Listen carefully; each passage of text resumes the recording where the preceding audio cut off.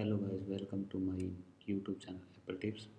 Today i will show you how i solve virtualbox error code 1908 how i solve it. Then first of all if you are download your virtualbox setup then delete from anywhere. You read checkout. No software is here. It's already uninstalled and after clear go to your Safari or Chrome any browser you are using. Type VirtualBox. VirtualBox official website is open. And click on download VirtualBox 5.2 and check this. It's 5.2.20 version and click on this OS hosts I'm just done this process. Check this. And close it. Go to downloads. And there is VirtualBox double tap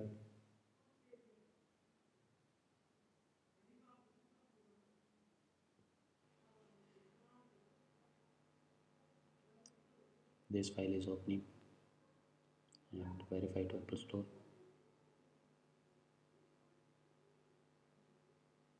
You watch this user manual virtualbox uninstall tool and click double tap on this virtualbox package.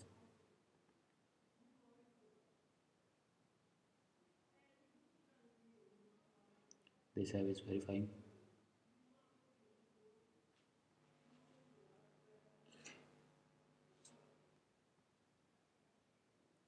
This package will run program determine if your software can be installed. Okay. Then go to your system preference.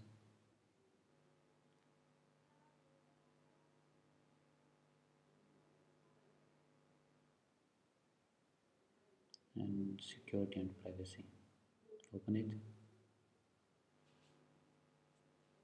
and unlock enter passcode and click on enter everything is clear check it check privacy check go back general and continue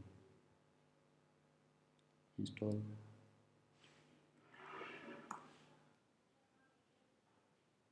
nothing here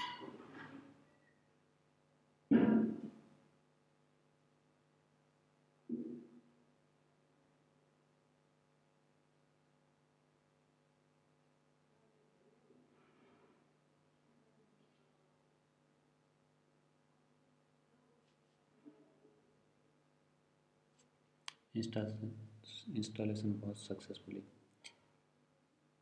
The main problem is there. Why 198 1908 or install installation not not successful message pop up here? Because you are not permission of super user. After you open system preference and go to security and privacy panel and unblock this if this icon is unlocked then this process totally successful and you have no error message okay? And if you are if you are have problem after this process then please comment me below and don't forget to subscribe my channel before we go open this software and confirm it's perfectly works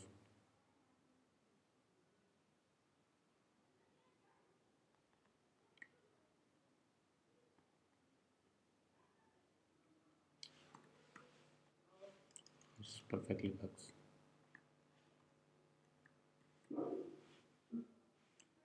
oh sorry windows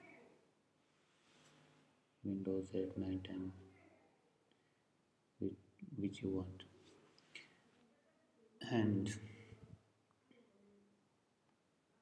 and thank you very much friends